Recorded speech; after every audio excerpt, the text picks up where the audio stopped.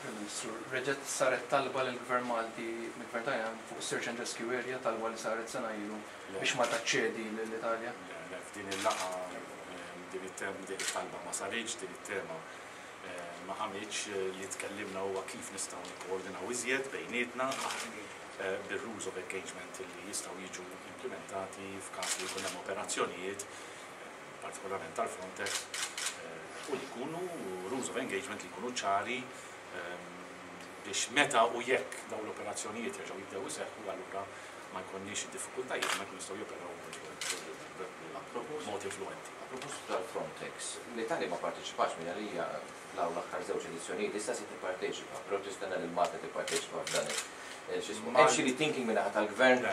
Il-pożizzjoni ta' Malta ma nbidlitx, aħna nipparteċipaw jekk ikun hemm ir-regoli li aħna nkunu qbilna fuqhom li jiġu applikabbli speċjalment f'dak li għandu x'jaqsam ta' x'jiġri meta inti tkun salvajt xi ħadd fl-ibħra, fil-gżira.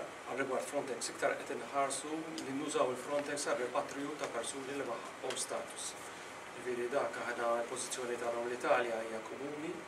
illi Frontex għandha tieħu f'idejha l-ownership li tara l-persuni n-nazzjonalità tagħhom ġewx mhix u li tieħu ħsieb li Frontex tibgħat lura dawn in-nies lura lejn il-pajjiż tal-oriġini tagħha.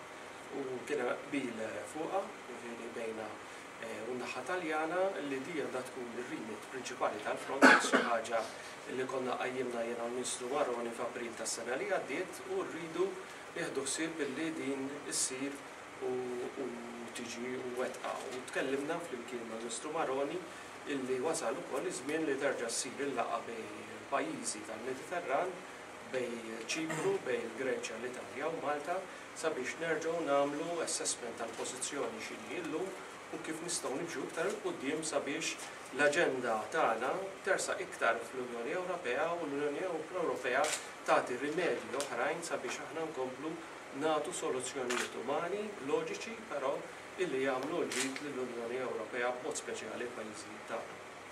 Waqt il-laqgħat ukoll semmejna l-proposta ta' Malta li tospita l-Five Plus Five, forsi Tonio tista'. Fil-fatt reġa' l-Gvern Taljan appoġġjana.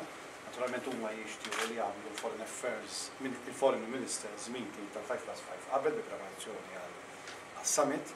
Irrid ngħid li das-Summit mhux previst li jsir kull sena, ġifieri kull meta jaqblu l-kapijiet tal-Gvern tal-Istat. L-aħħar wieħed kien sar f'Diċembru tal-2003 fit-Tuneżija.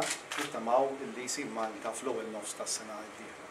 Irrid ngħid ukoll hemm fuq il-Frontex li t-Taljani huma xettiċi wkoll għax ma jridux bl-ebda mod jipprovokaw xi disturb lill-Gvern Libjan minħabba li bħalissa l-agreement li għaddej bejn l-Italja u l-Libja ta' assistenza teknika biex jikkontrollaw il-problema tal-immigrazzjoni qiegħed jaħdem. Tant hu veru li m'Ottubru 'l hawn ma daħlitx dgħajsa waħda ta' immigranti illegali.